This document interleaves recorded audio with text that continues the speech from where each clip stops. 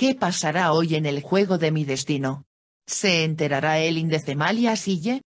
Si te gusta nuestro video, no olvides suscribirte a nuestro canal y activar las notificaciones.